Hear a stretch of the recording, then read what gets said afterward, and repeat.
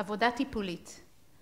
מתוך זה שאנחנו אומרים בעצם העבודה היא עבודה על הקשר, כן? התמכרות היא הפרעה בקשר ואנחנו עובדים על הקשר ואנחנו מבינים את זה שמתבגר כן רוצה להתמודד עם המציאות, הוא לא יודע איך.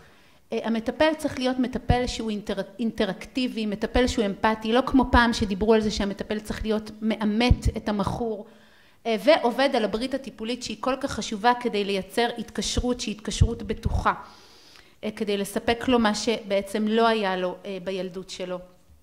אנחנו מדברים על, על בעצם אנחנו עובדים על חיזוק האגו, חיזוק האגו, חיזוק האגו שלו לכיוון של זהות נפרדת ובריאה, את זה אנחנו עושים על ידי זה שאנחנו מאפשרים לו מקום ומרחב נפרד משלו, שהוא לא, שהוא בלי ההורים שלו, שהוא בלי הקונפליקטים לפעמים שיש בבית ובודקים איתו מה הוא רוצה ולמה הוא זקוק ומה הוא צריך כדי לאפשר לו לבנות זהות משלו, לפעמים צריך במקום הזה איזשהו טיפול משפחתי או כניסה של ההורים כדי לעזור לו בסימביוזה שיש בתוך הבית, לאפשר לו נפרדות. עיבוד הכאב הנפשי, כמובן שדיברנו קודם שהפנייה לסם היא כדי לרפא את עצמי כסלף מדיקיישן, במקום שהוא יפנה לסם כסלף מדיקיישן אנחנו עובדים על, על, על הכאב, אנחנו עובדים על הכאבים ועל הטראומות. הדבר הכי חשוב בעיניי שאני עובדת עם מטופלים, גם, אני עובדת גם עם נוער וגם עם בוגרים, זה בעצם לפתח את פונקציית החשיבה. אני חושבת שזה הדבר המהותי לפחות בעיניי בטיפול במכורים. כשהתינוק הוא קטן והוא בוכה אז האמא בעצם צריכה לחלום אותו, מה שנקרא פונקציית הרברי, כן? היא צריכה לחלום אותו, מה הכוונה? היא צריכה להבין בעצם בתוך תוכה דרך תהליך של הזדהות השלכתית למה הוא בוכה. האם כרגע הוא, היא חולמת אותו, האם כרגע הוא בוכה כי הוא רעב, האם כרגע הוא בוכה כי הוא, כי הוא מלוכלך בחיתול?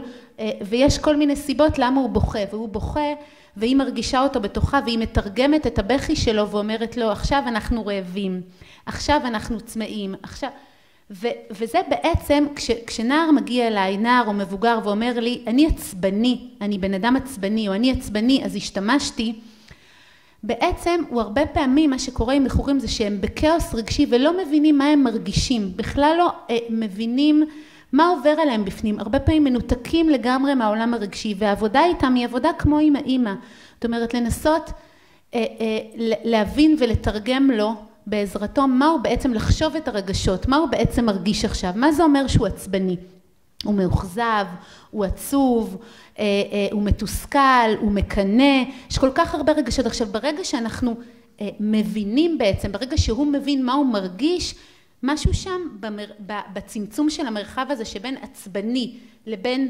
השתמשתי, אני עצבני אז השתמשתי, משהו שם נפתח, אוקיי? כי אני פתאום מבין מה אני מרגיש.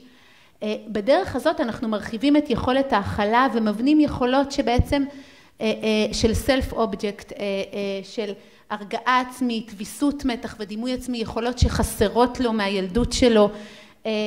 אני יכולה לספר לכם שאתמול אמר לי מטופל משהו נורא מרגש, הוא אמר לי אני אמא, אה תודה, כן, אמא שלו מה שנקרא בחוויה שלו שוב עצבנה אותו, הבת זוג שלו עצבנה אותו והוא אמר לי הייתי מפוצץ בכעס ורציתי ללכת, באותו רגע רציתי להשתמש.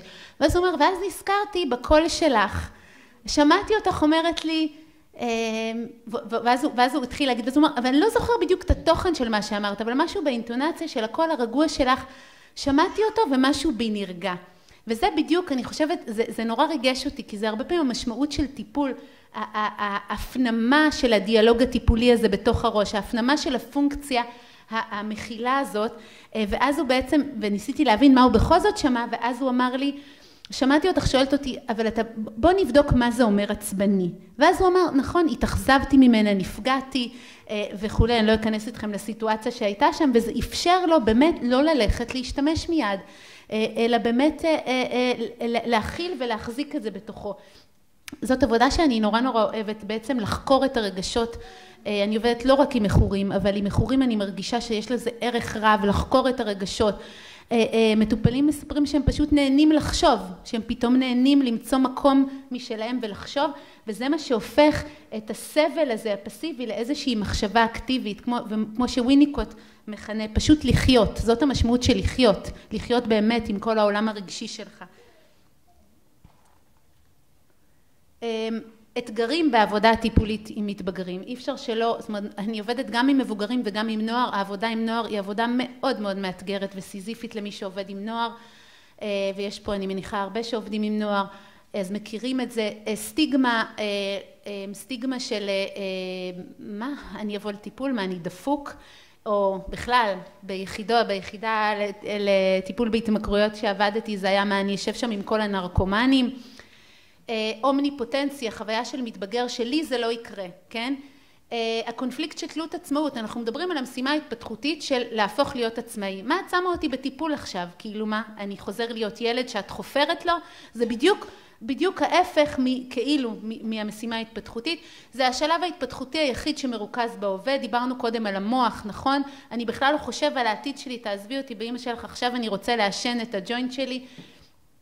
כולם מעשנים היום, כן? זה מזכיר לי ששבוע שעבר הגיע אליי נער והביא קנאביס לחדר ואמר לי את נראית לי קצת במתח, בואי בואי תעשני קצת תרגעי, בואי תאמיני לי זה יעשה לך, ניסה לשכנע אותי למה זה יעשה לי את החיים יותר נעימים ונוחים, אולי הוא צודק. תרבות שתייה, שימוש במסך, כן? אנחנו נמצאים בעולם הזה, כן? גם אנחנו, איך אמרתם קודם, מכורים לפלאפונים, כולנו מכורים לפלאפונים, אז זאת התרבות שלנו. אחד הדברים הכי חשובים באתגרים זה רווחים מול מחירים, כן?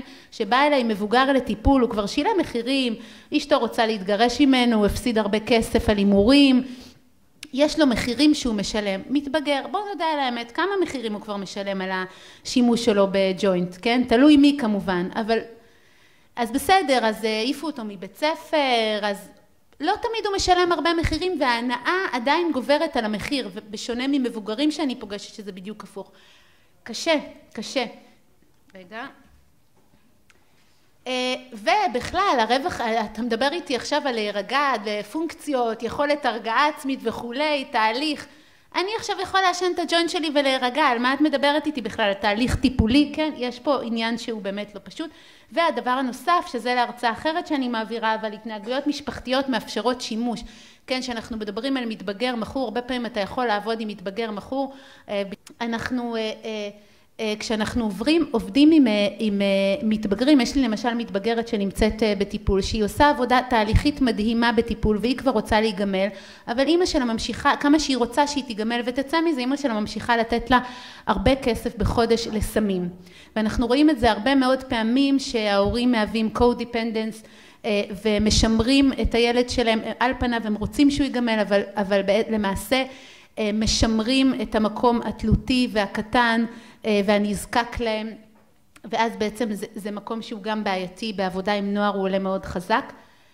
מכל זה יוצא ששמונים אחוז מהנוער בעצם מגיעים לטיפול ממניעים חיצוניים ולא ממניעים פנימיים, ואז המוטיבציה לשינוי היא מוטיבציה מאוד מאוד נמוכה, ולכן אני מכניסה פה את ה...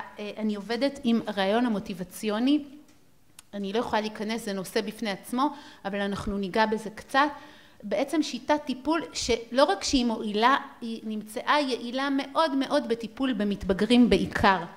זו שיטת טיפול שמכוונת לחיזוק המוטיבציה על ידי התחקות של האמביוולנטיות, אני אתן לזה דוגמאות. זאת אומרת, אנחנו אומרים, המבוגרים כל היום חופרים להם, אומרים להם מה לעשות, איך לעשות, והדרכי תקשורת האלה הן לא יעילות. העקרונות האלה של של הרעיון המוטיבציוני הם בדיוק מתאימים למשימה ההתפתחותית של הגיל, כי הם בעצם במילים אחרות אומרים חמוד, זה אחריות שלך, אוקיי? אתה אחראי על החיים שלך, אני מעבירה לו את האחריות, אני מחזקת את האגו שלו, אני מכוונת אותו לעצמאות, אני לא אומר, מתבגר שאתה אומר לו מה לעשות, אוטומטית הוא מתנגד, לא משנה אם הוא מסכים איתך, אוקיי? זה חלק מהגיל. דוגמאות, אסטרטגיות עבודה, בגובה העיניים וללא שיפוטיות, כן?